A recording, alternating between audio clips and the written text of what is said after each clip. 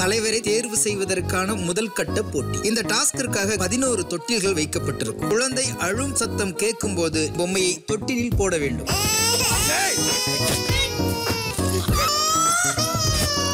யாருடைய பெயர் இருக்கும் பொம்மை தொட்டிலில் இல்லையோ அந்த நபர் போட்டியிலிருந்து வெளியேற்றப்படும். I put it first Niroop தூக்கி போட்டு நான் வந்து போட்டுட்டேன். கிளியரா இல்ல ரூல்ஸ் தூக்கி போடுறாங்க. கேட்க தான் செய்வேன். நான் வாய் இல்லாத பொம்மை கிடையாது ஷாரிக். எப்படி போடணும்னு அதுவும் சொல்லவே இல்லை. Bigg Boss Ultimate. இருபத்தி நான்கு மணி நேரமும் டிஸ்னி பிளஸ் ஹாட் ஸ்டாரில்